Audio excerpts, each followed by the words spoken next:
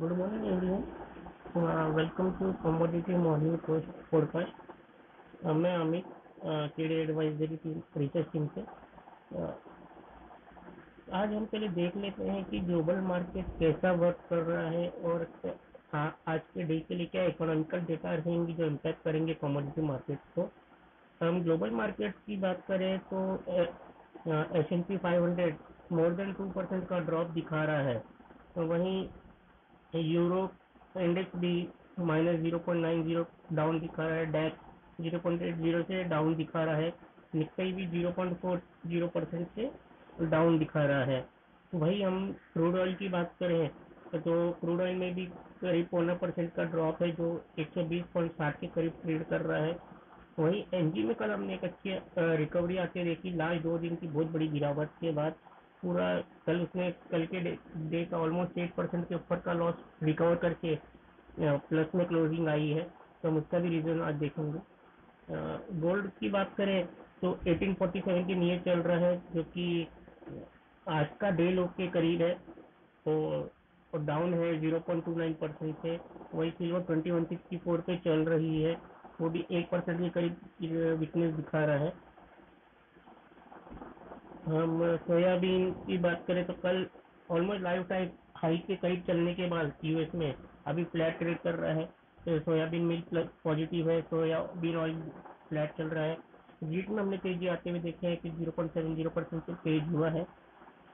Dollar index देखते हैं हम एक सौ दस पॉइंट दस, एक सौ तीन पॉइंट दस के करीब चल रहा है, जो कि फ्लैट है। कल हमने एक अच्छी रिकवरी आते देखी थी डॉलर इंडेक्स में भी। यूरो भी थोड़ा सपोर्टिव ट्रेड करते हुए दिख रहा है। कल आफ्टर ईसीबी अपडेट आने के बाद यूरो में थोड़ा रिकवरी देखने मिला हमें। जेपीवाई भी आज ऊपर है zero point seven zero percent से बीस साल के लोगों के जाने के बाद कल हमने थोड़ी रिकवरी आते देखी थी आज भी थोड़ा पॉजिटिव ट्रेड कर रहा है। जीडीपी 1.2503 के करीब ट्रेड कर रहा है, जो कि फ्लैट है। यदि हम बात करें न्यूज़ की और इकोनॉमिकल डेटा की, कल कैसे क्या रहा और आज क्या रहेगा। सबसे पहले कल ईसीबी से अपडेट की उन्होंने का जो इंटरेस्ट रेट कट है, वो अनचेंज ही रखा है ज़ीरो पॉइंट ज़ीरो पे, लेकिन बताया है कि जुलाई में वो बढ़ा सकते हैं, उससे वो देख रहे हैं। मॉर्निंग में कल हमने जैसे ले लिया था कि ट्रेड बैलेंस का चाइना का डेटा अच्छा आया था तो वो बेस मेटल्स को थोड़ा सपोर्ट किया, लेकिन हमने बेस मेटल्स में अच्छा प्रेशर देखा रीजन बना था कि शंघाई में और एक दो जगह बीजिंग वगैरह में लॉकडाउन वगैरह और कड़े स्टेप्स लिए जा रहे हैं कोविड को लेकर तो कल नाइट में हमने अनएम्प्लॉयमेंट का क्लेम का डेटा आते हुए देखा, जो कि बढ़ के आया है। तो वो एक, उस टाइम तक हमने थोड़ा देखा था बुलियम में थोड़ा सपोर्टिव बना था। बाद में एक ड्रॉप आया नाइट में वापस।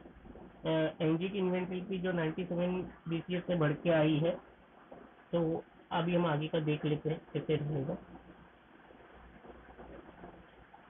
कल हमने गोल्ड फ्लैट टू नेगेटिव बंद होते देखा सिल्वर वन परसेंट डाउन बंद हुई क्रूड हाफ़ परसेंट डाउन बंद हुआ था।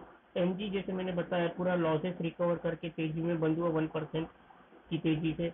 कॉपर सवा परसेंट जिंक डेढ़ परसेंट और एल्यूमिनियम में हमने two point two zero percent का ड्रॉप देखा तो कल गोल्ड में जो मेजर बना, और ड्रॉप का कारण हुआ था कि यूएस ट्रेजरी जो वापस तीन परसेंट के ऊपर चल रही है उसने कहीं ना कहीं प्रेशर बनाया और सबकी नज़र आज के इन्फ्लेशन डेटा पे है जो शाम को आएगा।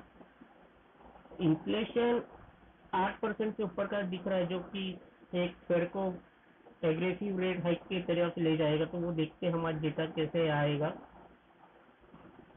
ईसीबी ने बोला है कि वो जुलाई में ट्वेंटी 25 बीपीएस से इंटरेस्ट रेट बढ़ाएँगे और सितंबर में और मोर एग्रेसिव हो सकते हैं।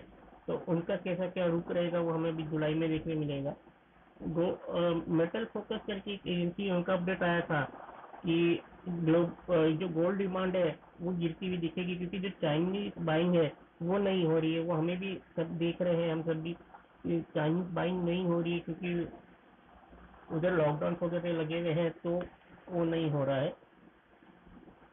और वहीं उनका एक और अपडेट आया कि सप्लाई गोल्ड की थोड़ी बढ़ने जैसी है, क्योंकि जैसे बहुत सी जगहों पे अभी सब नॉर्मल जैसा सिचुएशन है तो वहाँ पे जो प्रोडक्शन है वो थोड़ा एक्सपांड होने जैसा है तो वो एक नेगेटिव बन सकता है सेंटीमेंट इंडिया का गोल्ड का हमने इम्पोर्ट का डेटा आते हुए देखा है, वो भी बहुत अच्छा बढ़ के आया तो हमने देखा है कि लास्ट मंथ में इम्पोर्ट ज़्यादा हुआ था और प्राइस में भी हमने देखा था लास्ट मंथ में जम था. क्रूड ऑयल में कल हमने ड्रॉप आते हुए देखा अपडेट्स आए कि शंघाई में न्यू कोविड लॉकडाउन लग रहे मेजर्स लग रहे हैं तो वो कहीं ना कहीं प्रेशर क्रिएट किया प्राइस पे। जो कि ड्रॉप था, वो लिमिटेड था मॉर्निंग में, मई मंथ का एक्सपोर्ट डेटा आने के बाद से। तो वो चाइना का मई का क्रूड ऑयल इंपोर्ट देखा जाए तो 45.82 मिलियन टन का रहा। वही क्रूड आउटपुट यूएस का और पेट्रोलियम डिमांड दोनों बनने का बताया है ईआईए ने 2022 में। गोल्डमैन सैक्स ने भी ब्रेंड क्रूड के प्राइसेस का आउटलुक बढ़ाया है। उनका कहना है कि सप्लाई डिफिसिट बनी रहेगी। एक अपडेट ये भी था कल कि यूएस का ऑयल आउटपुट जो है, वो तीन परसेंट से बढ़ा है, जो कि हाईएस्ट है मार्च नवंबर महीने के बाद का। तो वो भी एक थोड़ा सा नेगेटिव सेंटीमेंट क्रिएट कर रहा है प्राइस पे। कल नेचुरल गैस में जो रिकवरी आई, उसका रीजन हम देख लेते कि उसमें जो मेजर रीजन था, वो था उधर रिकॉर्ड पावर डिमांड है टैक्सेस में अभी बनी हुई। तो वो एक सपोर्टिव फैक्टर रहा। और जो लो विंड पावर है और डिक्लाइनिंग गैस प्रोडक्शन वो भी एक सपोर्टिव फैक्टर बना रहा है और जैसे हमने देखा है कि फायर ब्रोक हुआ है परसों के दिन कहीं ना कहीं वो भी एक सपोर्टिव फैक्टर बनेगा आगे चल के क्योंकि फायर ब्रोक हुआ है और उनका अपडेट आया है कि तीन हफ्तों तक वो बंद रहेगा। तो वहाँ पे हम देख सकते हैं कि सप्लाई डिस्ट्रप्शन आ सकती है। तो वो एक सपोर्टिव फैक्टर बन सकता है प्राइस के लिए आगे चल के। बेस मेटल्स में हमने ड्रॉप देखा कि चल कि कल डॉलर में स्ट्रेंथ आया। ग्लोबल स्लो डाउन के कंसर्न से अभी भी रिकवरी चाइना में डिमांड की अभी भी नहीं दिख रही है तो वो एक फैक्टर बना। वही चाइना का कल मई महीने का कॉपर इंपोर्ट का अपडेट आया जो कि 4.4 परसेंट से बढ़ा है। पेरू में कॉपर प्रोडक्शन ड्रॉप हुआ है 1.7 परसेंट से। तो ये दो जो फैक्टर्स है, इन्होंने कॉपर का डाउन साइड का लिमिटेड रखा। चाइना से अपडेट आया कि उनकी जो सेंट्रल बैंक है, वो इम्प्लीमेंट करेगी अपने मॉनिटरी पॉलिसी को स्ट्रेंथ करने के लिए स्टेप्स को, जो कि इकोनॉमी को सपोर्ट करे। तो वो एक सपोर्टिव फैक्टर बनेगा आगे चल के। जिंक में हमने ड्रॉप आते देखा कि जिस हिसाब से लास्ट एक हफ़्ते में थोड़ा लॉकडाउन ईज हुआ था, उसके बाद वापिस आउटपुट में थोड़ा रिकवरी आने लगी थी। तो वो एक फैक्टर बना और जो वो और ओईसीडी ने ग्रोथ आउटलुक है, वो स्लैश किया है मतलब वो भी कम किया है तो वो भी एक नेगेटिव फैक्टर बनेगा पूरे बेस मेटल काउंटर के लिए भी। चाइना का रिफाइंड जिंक आउटपुट है, जो है, उसमें जंप आते हुए देखा है हमने। और आगे चल के हम और जंप देख रहे चार लाख तिरपन हज़ार टन का। तो जो कि एक सप्लाई कंसर्न को ईज करेगा और प्राइस पे थोड़ा प्रेशर क्रिएट कर सकता है। एल्यूमिनियम में भी कल हमने अच्छा ड्रॉप आते देखा, पहले अपडेट आया कि चाइना का जो एल्यूमिनियम आउटपुट है, वो 3.6 परसेंट से ईयर ऑन ईयर बढ़ा है, जो कि बताता है कि सप्लाई साइड अभी थोड़ी ईज हो रही है। तो वो एक अच्छा फैक्टर बना था जो प्रेशर किया अलॉन्ग विथ लॉकडाउन के अदर कंसर्न जापान का एल्यूमिनियम स्टॉक्स में हमने अप्रैल महीने का जो अपडेट आया है मंथ ऑन मंथ के हिसाब से, उसमें 2.9 परसेंट का ड्रॉप देखा है।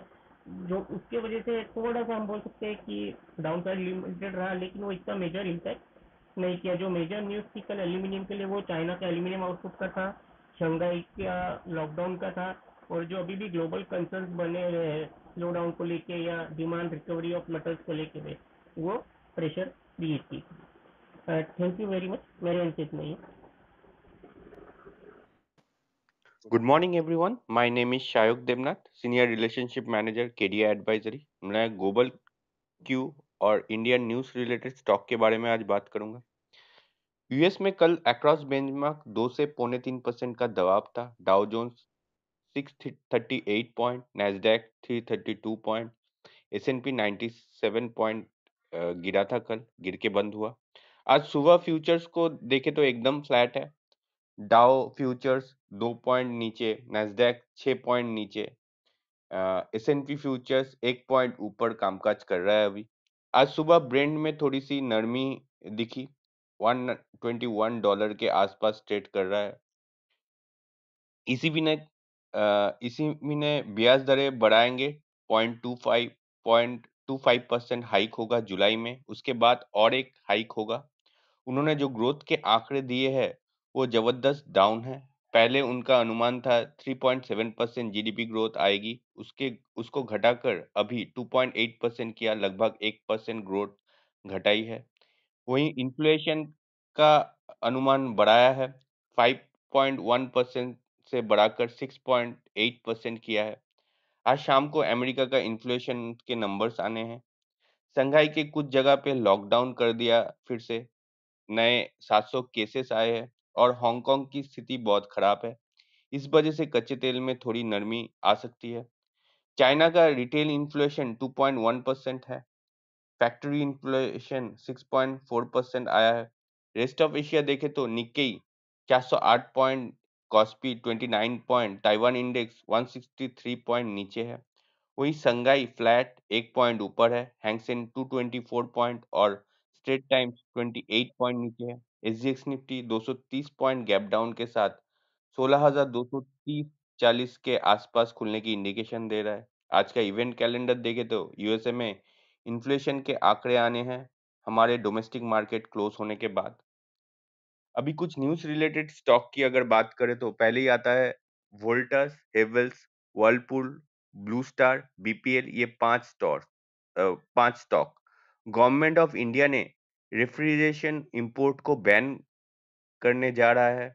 ये एक बड़ी खबर है। आई कल डोमेस्टिक कंपनी को फ़ायदा पहुंचेगा इससे।